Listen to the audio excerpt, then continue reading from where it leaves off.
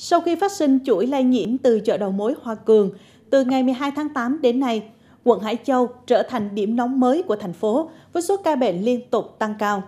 Các giải pháp ngăn chặn dịch hiện đang được địa phương triển khai quyết liệt, hạn chế lây lan ra cộng đồng. Đây là kiệt 524 Hoàng Diệu. Tuyến kiệt này dài khoảng 150 mét, có hơn 200 nhân khẩu sinh sống, nhưng đến nay đã có 63 trường hợp mắc COVID-19. Mặc dù đã thiết lập vùng cách ly y tế, nhưng sự chủ quan của người dân bên trong khi vẫn tiếp xúc qua lại với nhau được xem là nguyên nhân dẫn đến lây chéo tại đây. À, đặc thù là khu vực này là cũng gần chợ mới cho nên một số người dân là họ liên quan tới chợ đầu mối là buôn bán hàng hóa họ nhận ở đó về họ buôn bán lại trong chợ cũng như là buôn bán các nơi khác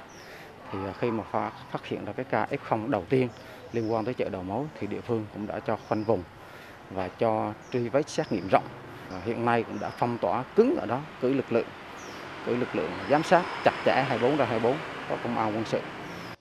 từ khi phát sinh chuỗi lây nhiễm chợ đầu mối Hòa Cường, tình hình dịch bệnh tại quận Hải Châu diễn biến phức tạp. Những ngày gần đây, mỗi ngày quận có từ 50 đến 80 trường hợp mắc mới COVID-19. Tổng số ca bệnh đến nay là 704 ca, chỉ đứng sau điểm nóng Sơn Trà.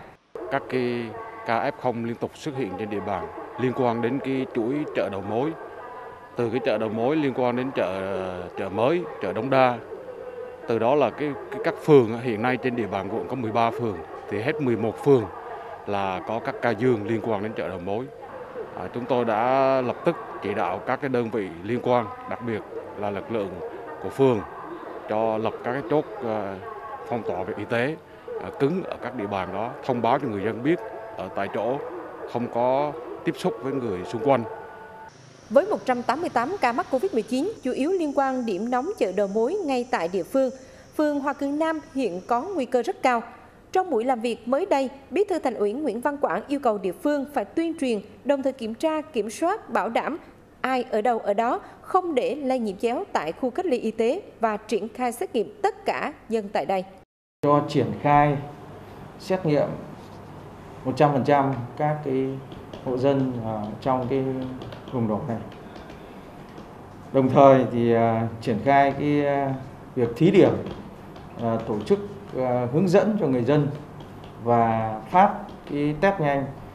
cho người dân để người dân tự test và chúng ta là người uh, sẽ kiểm tra lại cái kết quả này để có một cái biện pháp cho nó phù hợp. Quận Hải Châu hiện có 81 điểm nóng dịch tễ trên địa bàn. Việc thành phố tiếp tục siết chặt giãn cách sẽ giúp địa phương có thêm thời gian để tăng tốc xét nghiệm, bóc hết F0 ra khỏi cộng đồng, sớm ngăn chặn các chuỗi lây nhiễm.